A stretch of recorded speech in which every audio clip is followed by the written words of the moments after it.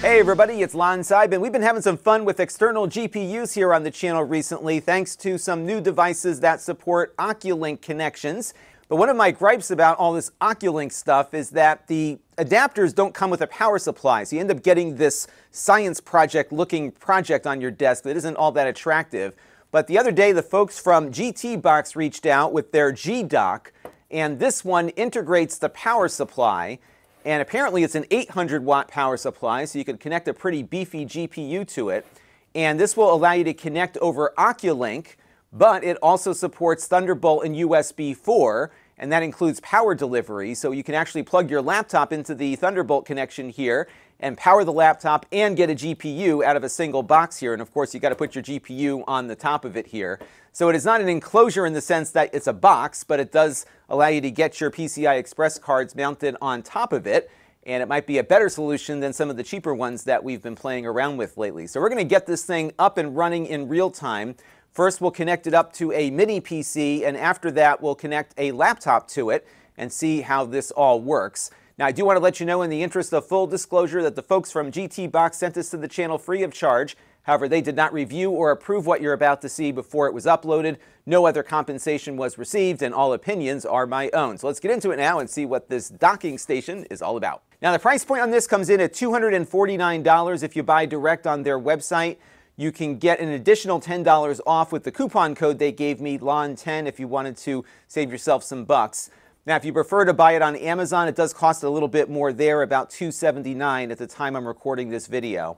Now, as I mentioned, this has an 800 watt power supply integrated, and you can connect over Oculink or Thunderbolt slash USB 4.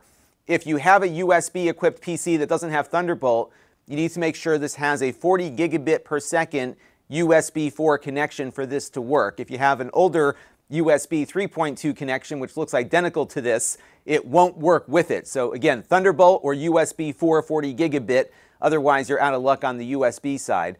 The Oculink here, of course, requires some kind of Oculink adapter on your PC. A bunch of mini PCs we've looked at recently do have that connector built right in, but there are adapters that you can get. So a few weeks ago, we did that cheap mini PC with an NVMe to Oculink connector. That was kind of fun. Now, they also have PCI Express cards like this one I have installed on this Minisforum MSA29955 mini PC we'll be reviewing soon. And as you can see here, that puts the Oculink port on the outside, and that's what we'll be testing with initially here. Now, Oculink is a four-lane PCI Express 4 connection technology. And again, it puts your stuff right on the system bus, so it is a little more efficient than Thunderbolt and USB 4 might be. And don't forget, you're not limited to just GPUs with this device. You can connect pretty much any PCI Express card to it. For example, my local high school has a small Thunderbolt breakout box where we have our video capture card in there. Uh, so you could do a lot with this beyond just GPUs.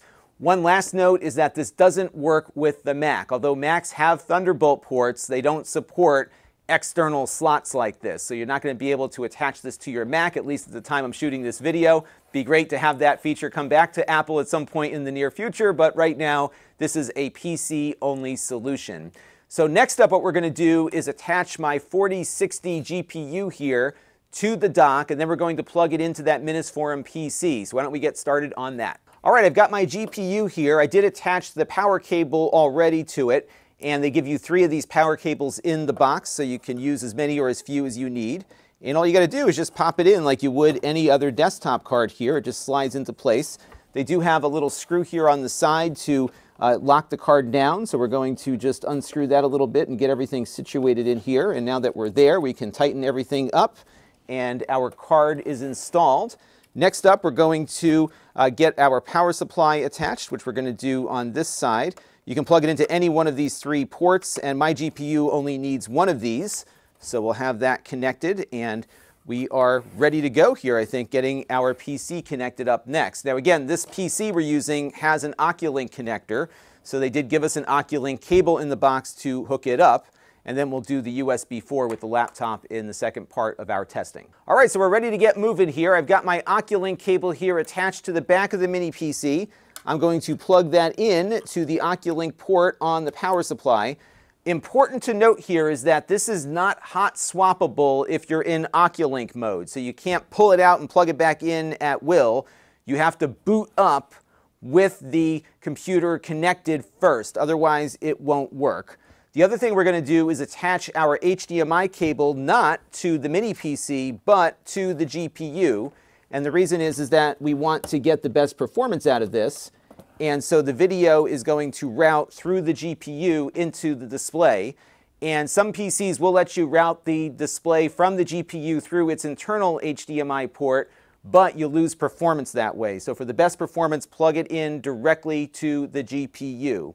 Now there's a power switch on here. I'm just going to cycle it real quick just to make sure that we've got the Oculink here selected. And once we have that done, we can go ahead here and turn on the computer and let's see what happens. It looks like my fan spun up here on the GPU, which is a good sign. And let's see if we get video on the display. Now, one thing I haven't done yet is downloaded the GPU drivers for the NVIDIA card. So we're going to do that after we get into Windows. Usually Windows can detect the uh, GPU enough to work with it. So that is the plan here. This does have a fan on it. It's not all that noisy. I think the GPU fan may make more noise than the power supply fan does. But as you can see here, we're getting video out of the card and we're successfully booting into Windows now. So it'll boot up with whatever default uh, drivers that Windows assigns to this. And what I'll do now is grab those NVIDIA drivers and we'll load up a game and see how it performs. All right, so the NVIDIA drivers are installed. I booted up Cyberpunk here. I'm running it at 1080p using the optimized settings from the NVIDIA app. I think we're kind of at medium settings here. And this computer is delivering about 220 frames per second or so here. I'm sure we could crank up the quality levels a bit more but it does give us a good indicator that this GPU is working properly. One of the things that surprised me about this mini PC was how poor its onboard graphics performs. So it's got a lot of CPU horsepower, but not a lot of graphical horsepower. So this is certainly an improvement. And you'll learn more about that in my review. But there you go. It's pretty easy to get these things up and running. You pretty much plug them in like you would if you were connecting directly to the motherboard. All right, so why don't we get my laptop out now and run a similar demo on that. Now, the laptop, of course, has Thunderbolt ports on it, so we'll be using the Thunderbolt connection from the eGPU to get all of that working. So why don't we go ahead and get that started. All right, so I've got it connected now to the laptop via Thunderbolt and all seems to be working well. I did up the settings a little bit just to see if we could get a little more quality out of the imagery here. And it seems to be working just fine, very similar to some of these other Thunderbolt slash Oculink devices we've tested recently. There is a slight bit of a performance hit when you choose Thunderbolt over Oculink. So if you have the ability to connect via Oculink, that will be more like a direct bus connection. One other thing to note is that I have the internal display here switched off at the moment, and I have it displaying just on the big display here through the GPU where the HDMI is connected because you will see a performance hit if you route the video through your laptop's display versus outputting directly through the GPU.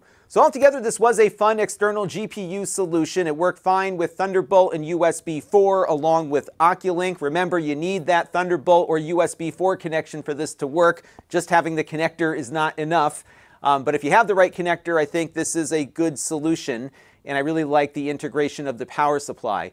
The fan is not noisy on this at all. I think you'll hear the fans more from your GPU or your computer than you will from it. And all in, it seemed to be running pretty stable throughout my testing with it. I would like to see at some point, though, an enclosure, a proper one that kind of protects the card. I don't like this idea of having PCI Express cards just hanging out there in the open. So hopefully at some point, somebody will get the idea to go back to the Thunderbolt enclosures we had 10 years ago that you could build a case around and have the power supply and the slot and everything else all integrated in.